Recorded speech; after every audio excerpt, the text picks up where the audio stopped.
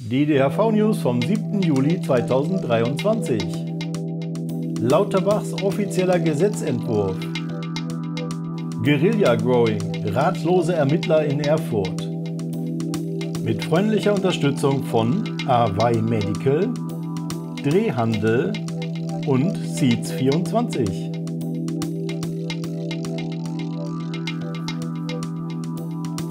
Herzlich willkommen bei den DHV News.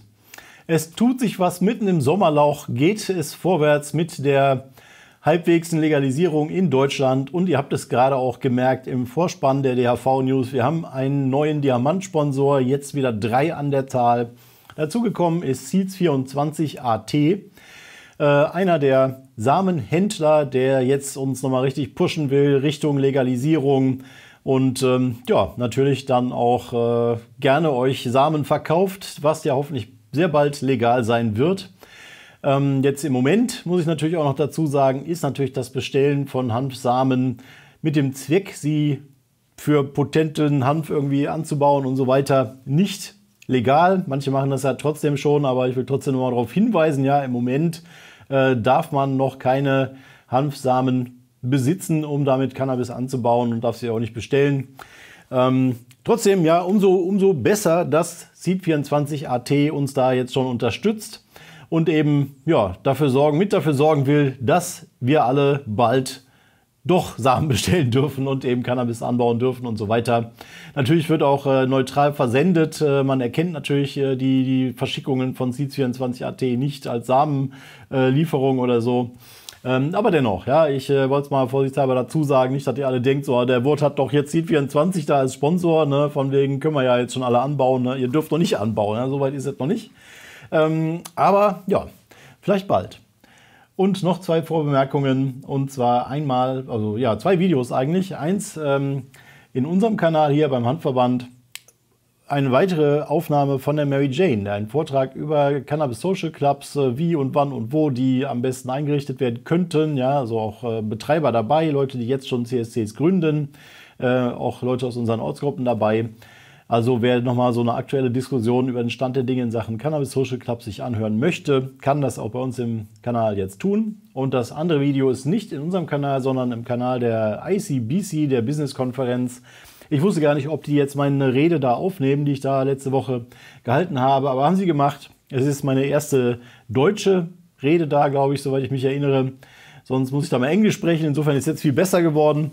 Äh, und es ist die erste, wo ich über so einen langen Zeitraum wie 25 Minuten spreche, ohne irgendwelche Notizen. Also vollkommen frei gesprochen da über die Frage, ähm, ja, Will Germany get it done? Ja, kriegen wir das gebacken, irgendwie Cannabis zu legalisieren in Deutschland? Ähm, ja, ein bisschen darüber. Gedanken, Hopping von mir. Die ganzen Links in der Videobeschreibung. So, jetzt aber zum großen Brecherthema, mit dem ich gar nicht gerechnet habe, eigentlich jetzt mitten irgendwie am Anfang der Sommerpause. Ich dachte, das kommt noch viel später erst. Also da war Lauterbach mal wieder erstaunlich schnell eigentlich. Ähm, es gibt jetzt einen offiziellen Gesetzentwurf. Bisher, was wir die ganze Zeit irgendwie besprochen haben, war ja ein geleakter Entwurf, der mitten so aus dem Maschinenraum der Ministerien da irgendwie zwischen den Ministerien rausgegriffen worden war, von wem auch immer. Jetzt ist es ganz offiziell, man findet den Entwurf auch auf der Seite des Gesundheitsministeriums, auch mit so einer FAQ-Reihe wieder, ja, wo alle möglichen Details schon mal da vorweg erklärt werden. Ist so noch länger geworden, das ganze Dokument, also ein Riesending. Ähm, und es geht jetzt in eine Verbändeanhörung, das Ganze. Und die Bundesländer werden schon mal angehört, also noch nicht im parlamentarischen Verfahren. Es war immer noch nicht der Kabinettsentwurf, auf den sich die ganze Bundesregierung geeinigt hat, sondern jetzt schon wird schon mal eine Runde äh, eingeholt an, an Feedbacks von Verbänden, auch von uns. Wir haben auch offiziell per E-Mail sozusagen diesen Entwurf bekommen mit Bitte um Stellungnahme bis zum 24. Juli. Das werden wir sehr ausgiebig äh, nutzen, diese Möglichkeit, weil wir jede Menge Anmerkungen haben zu dem Gesetzentwurf. Ähm, dazu machen wir vielleicht später nochmal so ein eigenes Video mit allen möglichen Details. Jetzt werde ich gleich nur noch nur ein paar äh, spezielle Dinge nennen, die da sich verändert haben im Vergleich zum Leak. Auf jeden Fall läuft das Ganze darauf raus, dass die, der Plan ist, also Mitte August äh, einen Kabinettsentwurf zu verabschieden, der dann die Bundesregierung verlassen kann Richtung Parlamente, sodass tatsächlich dann nach der Sommerpause sofort in den parlamentarischen Beratungen das Ganze losgehen kann. Dafür ist jetzt rechtzeitig dieser Entwurf verschickt worden. Wir haben entsprechend unsere Zeit, das zu kommentieren. Und das ist soweit so gut. Ja, kann man mal wieder sagen, ähm, erstaunlich schneller Fortschritt jetzt. Ähm, der so, also ich hätte eigentlich gedacht, tatsächlich, die vertrödeln das Ganze jetzt noch länger.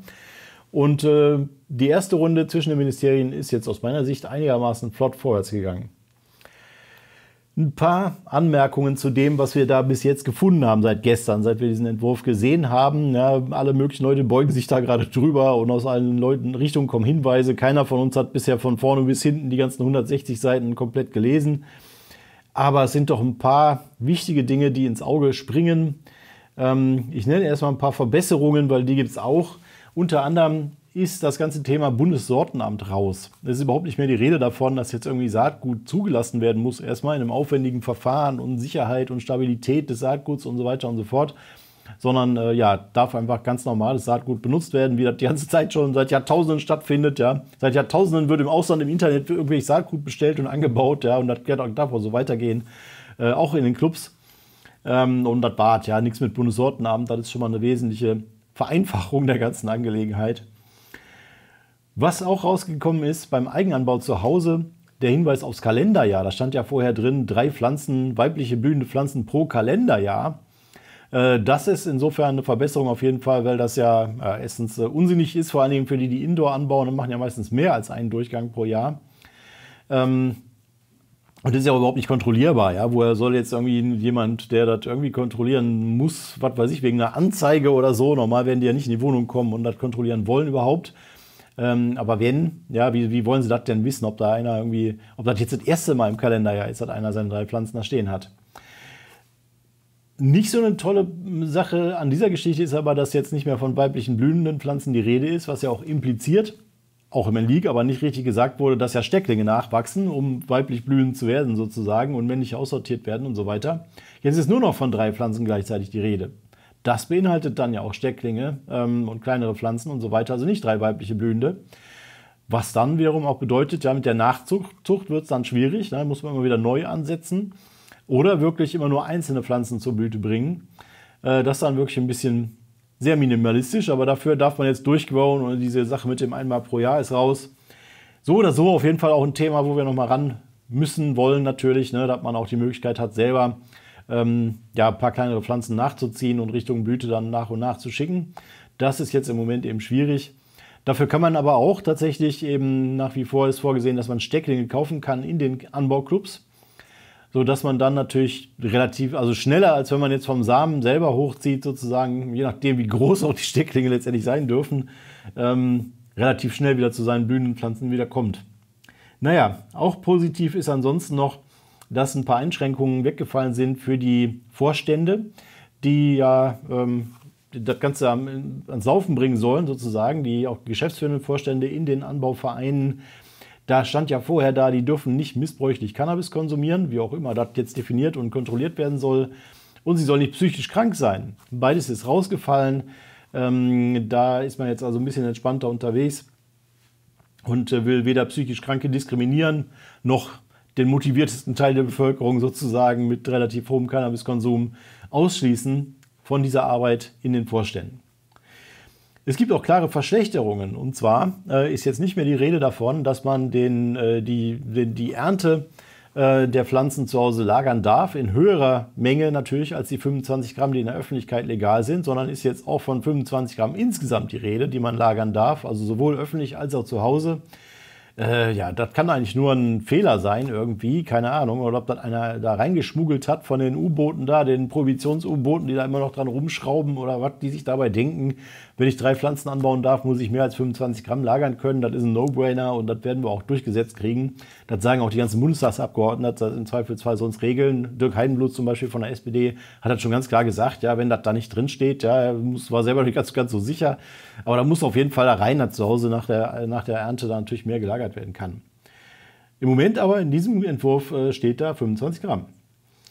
Was sich auch ähm, jetzt nochmal verschlechtert hat oder sehr fragwürdig ist, die Regelung, dass man äh, jetzt nicht mehr pro Gramm bezahlen kann, im Anbauclub, wenn man da Mitglied ist und sich da sein abholt, was man gerade so haben will und braucht und so weiter, ähm, sondern man bezahlt quasi mit Pauschalen.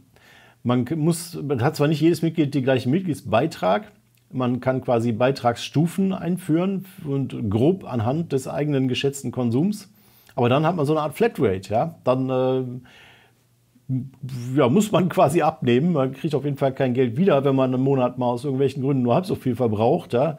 Was weiß ich, ähm, beim Krankenhaus oder hat irgendwie keinen Bock zu kiffen, irgendwie mal zwei Wochen. Und dann äh, ja, habe ich aber schon bezahlt für die ganze Menge, die ich in der Zeit verbraucht hätte. Ne? Und dann nehme ich die natürlich. Also merkwürdige Idee.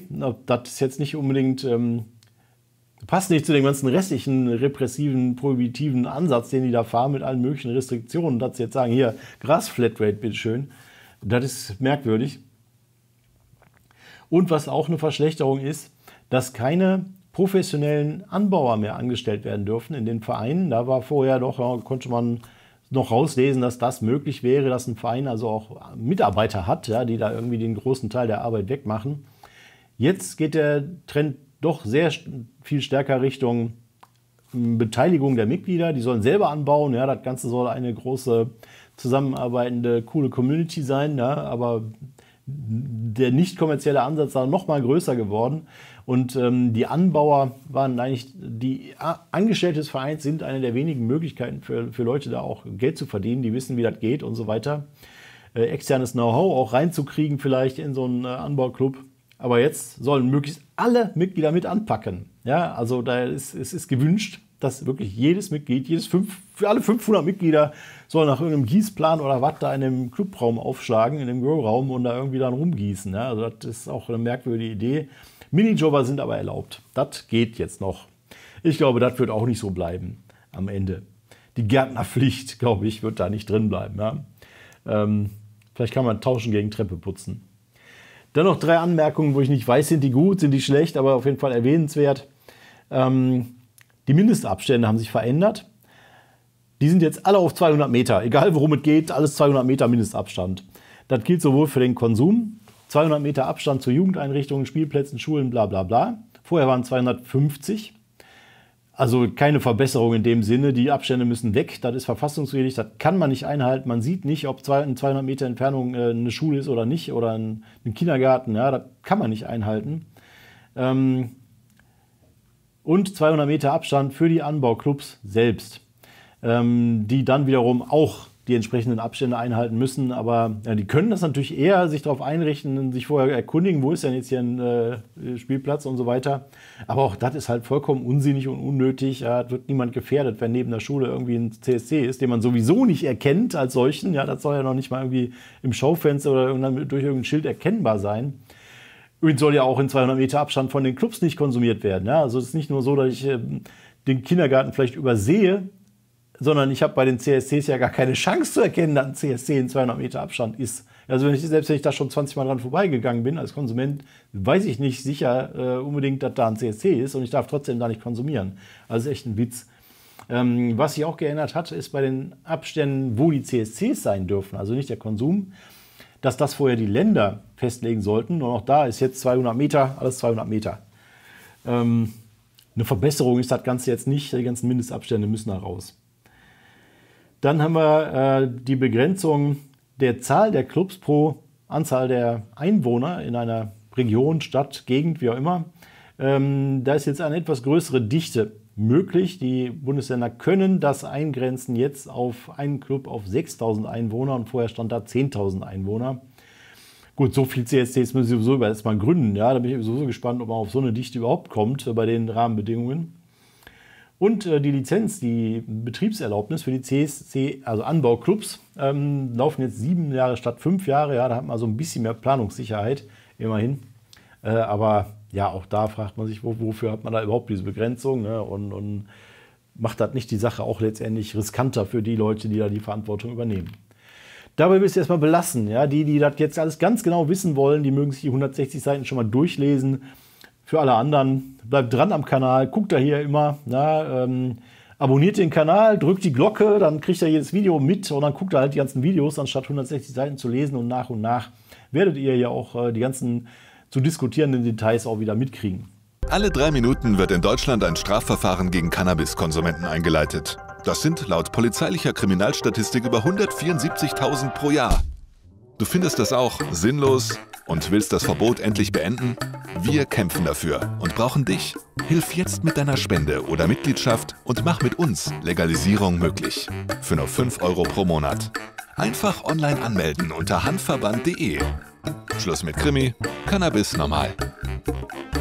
Dann habe ich noch ein bisschen Nachrichten übrig und zwar einmal ein neues Drogenranking.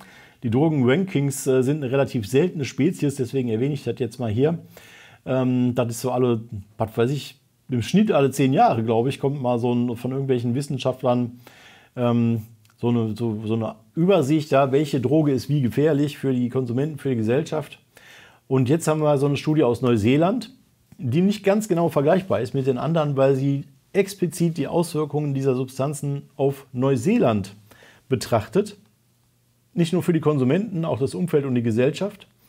Also zum Beispiel bei Alkohol wird eingepreist, dass Alkoholkonsum häufig zu häuslicher Gewalt führt, also zu, zu, zu negativen Konsequenzen fürs Umfeld. Und dadurch wird Alkohol gefährlicher, als es jetzt nur für die Gesundheit der Konsumenten selbst ist. Aber es wird auch eben ganz konkret nur in Neuseeland geguckt. Das heißt, die lokale Verbreitung der Substanzen spielt eine große Rolle im Gegensatz zu diesen vorherigen Rankings. Und das äh, verändert tatsächlich dann auch das Ergebnis, wo welche Substanz eingeordnet wird in der Gefährlichkeit. Weil natürlich eine Substanz, die in Neuseeland gar nicht in großem Umfang konsumiert wird, ja, die kann da natürlich auch nicht viel Schäden verursachen, ist insofern auch nicht weit oben in der äh, Grafik, sondern eher weiter unten. Das vorweg gesagt, gucken wir uns die Grafik mal an jetzt. Tada, wie immer, wie auch bei den anderen Rankings, Alkohol ist ganz vorne dabei als eine der gefährlichsten Substanzen, die der Menschheit überhaupt zur Verfügung steht. Ähm, ja, es gibt kaum was Gefährlicheres. Auch hier, man sieht hier die blauen äh, Striche sind die ähm, Gefährlichkeitsbarometer für die Konsumenten selbst und die orangen für andere Menschen. Der ist also auch bei Alkohol relativ hoch. Als zweites ähm, Methamphetamin oder Crystal Met, wie Söder sagen würde auch mit relativ äh, dramatischen Auswirkungen. Und schon an dritter Stelle kommen jetzt synthetische Cannabinoide. Das habe ich so in früheren Rankings auch noch nicht gesehen, auch da mit einem hohen Gefährdungspotenzial für die Konsumenten selbst insbesondere.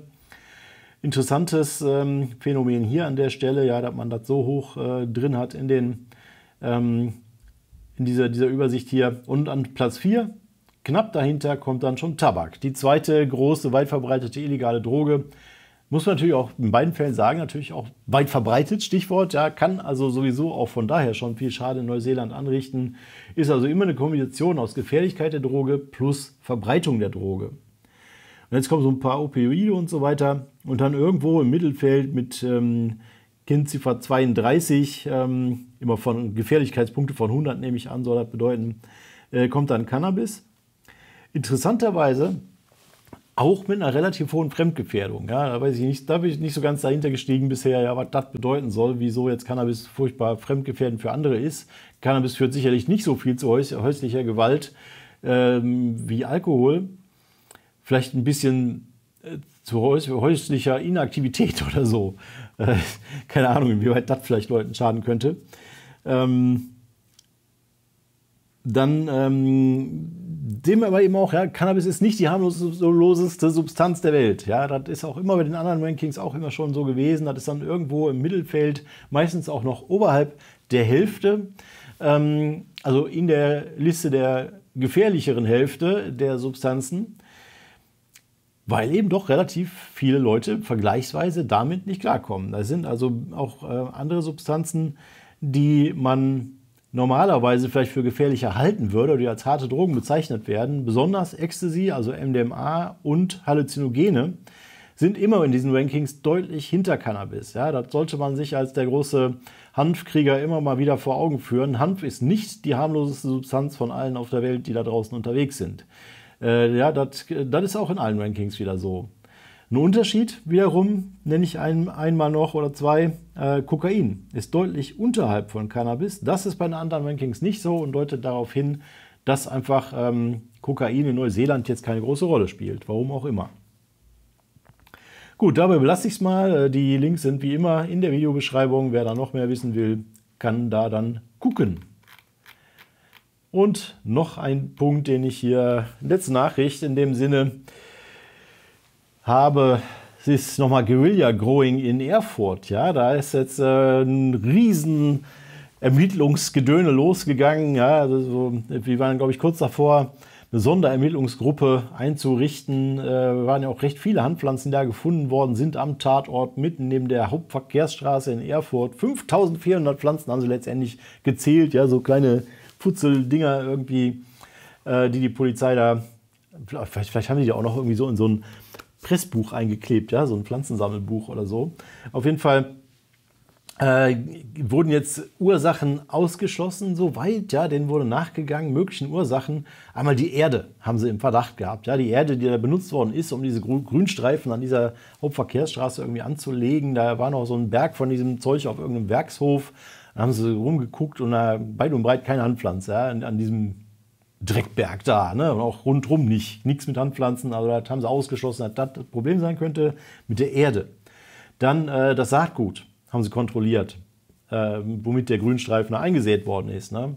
Keine Handpflanzen entdeckt. Weiß nicht, wahrscheinlich haben sie mal so ein paar Kilo genommen und die alle einzeln durchgefutzelt. ob, da, ob sie da irgendwie Handsamen drin erkennen, haben sie nicht. War nichts mit Hand, Handsamen. Da haben sie sogar Proben von Erde und Saatgut ans LKA in, in Thüringen geschickt.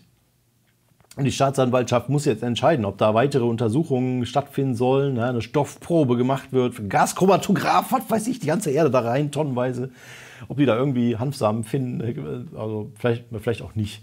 Auf jeden Fall sind sie völlig, ähm, völlig am Ende und wissen überhaupt nicht, was jetzt, was jetzt noch machen sollen. Vogelfutter war noch im ähm, Gespräch, ja, hätte auch Vogelfutter sein können, aber in der großen Masse, 5400 Pflanzen, ja, so viele Hanfsamen sind im Vogelfutter auch wieder nicht drin. Und wo sowieso das ganze Vogelfutter überhaupt da hinkommen, ja, auf den grünen Pflanzstreifen, weiß, wissen sie jetzt auch nicht so unwahrscheinlich. Ja, also großes Rätselraten um diese verbrecherischen Pflanzen. Die Ermittler kommen da nicht vorwärts. Wahrscheinlich wird das niemals aufgeklärt werden. Äh, dieser, dieser gefährliche Anflug da von, von massenhaft Handpflanzen. Ähm, aber naja, vielleicht haben sie die Gefahr jetzt auch eingedämmt. Äh, mühsam durch die ganze Herausrupferei der Pflanzen. Möglicherweise ist da jetzt also keine Gefahr mehr im Verzug und vielleicht wird das LKA jetzt auch doch gar keine Stoffprobe mehr machen und das Ganze ist dann erstmal erledigt. Aber sie haben doch ordentlich äh, überlegt da in Thüringen, wo die Pflanzen hergekommen sein können. Ortsgruppenfunk haben wir noch ganz kurz. Äh, ein Bild von der Ortsgruppe in Würzburg, die im intensiven Austausch war mit dem Cannabis Social Club in Würzburg. Intensiver Austausch klingt für mich immer so nach fast Klopperei irgendwie, ne? aber nee, sagen die, wäre total nett gewesen und äh, interessant und gute Stimmung und so weiter. Also Ortsgruppe in Würzburg hat Spaß gehabt im Austausch mit dem CSC in Würzburg. Guckt rein bei den Ortsgruppen und bei folgenden Terminen, bei denen wir jetzt angekommen sind. Da haben wir erstmal ähm, in Bamberg den Infostand der Ortsgruppe zum Bamberger Sommer Bierfest. Ja, voll geil. Die sind am Bierfest mit dem Infostand vom Handverband da zugange. Super Aktion. Dann haben wir ein Treffen der Ortsgruppe Bergisches Land mal wieder in Wuppertal, Dienstag, 11. Juli. Habe ich Bamberg vorher gesagt? 8. Juli, ne? Ähm, Dienstag, 11. Juli, Wuppertal. Donnerstag, 13. München, Online-Treffen, Online-Treffen der DAV-Ortsgruppe. Also könnt ihr auch mitmachen, wenn ihr gar nicht in München seid, heimlich.